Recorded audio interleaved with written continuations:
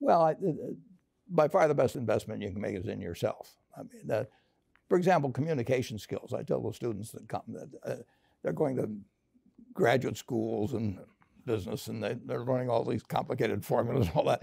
If they just learn to communicate better, and both in writing and in person, they increase their value at least 50%. And, uh, I mean, uh, it, it, uh, if you can't communicate, somebody says, you know, it's like winking at a girl in the dark. Nothing happens, you know, basically. And